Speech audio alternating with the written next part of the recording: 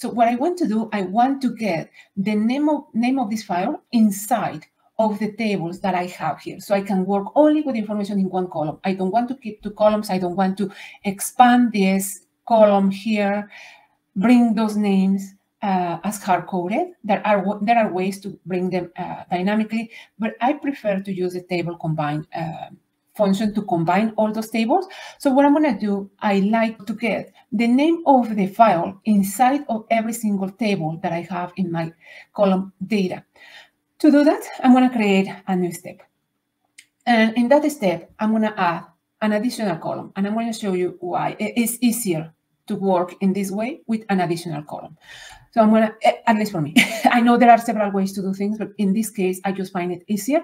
I prefer to do everything in one column, but in this specific case, when I'm to add the name of the file to the existing tables, it works better for me to create an additional column. So uh, a lot of times we have preferences, but sometimes we need to see what is better for the process or for our own understanding. And for me, it has worked better this to add the column. So table add column to the existing uh, table, that is this, coming from the custom one step. That reminds me, I didn't rename my step, but we'll rename that later on. So that is my table. That is a table where I want to add the new column. And the new column will be called final. That will be the final column that we are going to expand and, uh, and extract all the information from all the tables. I'm going to press comma and what do I want to do there? Well, I'm going to say each.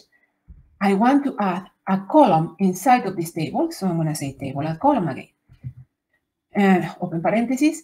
What is the table? Where is the table coming from? Well, the table will come from my column data. That's the one that has all the, uh, the tables.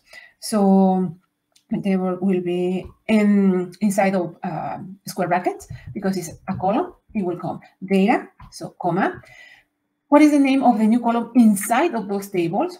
Well, that will be file name. And I'm going to give this as capitals or uppercase uh, because that specific table has a column that is called name, that has the name one, two, three, four, five, etc.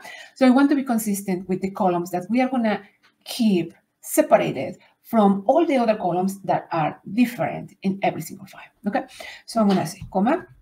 And what do I want to do here? So uh, here I'm going to try to provide the each key word. But it's going to be, and I'm, I'm going to show you, I just want to show you that it's going to give us an error because we are talking about different environments. We're talking about different, let's say, dimensions. So this each works on each a specific item on this table. But when I'm talking to transform a table that is nested, this each is out of that environment. This each needs to modify or introduce something in a table that is not, let's say, visible here, let's say, right? So if I say each, and I said I want here to bring name, to bring just that uh, file name, and I say, I go to the end, close parentheses, and I press enter. I go to the end with that final column is, and then I can see that I was able to add a column inside of these tables, but it gives me an error. And that is the reason why, because I am providing a keyword that doesn't apply to the environment where these tables are. So what I need to do, I need to find a way, a key that is going to allow me to go inside of these tables and it's going to kind of open the door for me and it's going to allow me to then deposit that new column, insert that new column at that table. So what do I do there? So each is a, a short name or a key na eh, name for a function. So that means that I can provide something that is going to play that role as function. And what is a function for Power Query?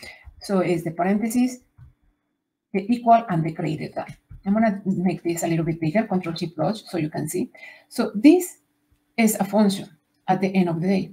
Inside of the parentheses, I provide a parameter. The parameter can be ABC or can be a, a, a word. It, it doesn't matter. It's a parameter. And I want that parameter to allow me to go inside of the nested table Perfect. In this case, I'm just introducing a new column. In this case, I needed the parameter. I needed the, the, the, function to allow me to go inside of that table and open, open the door for me, let's say, and allow me to introduce that uh, column, right? So now I have that information inside of every single table. So I'm, i want to show you the, uh, so here is one.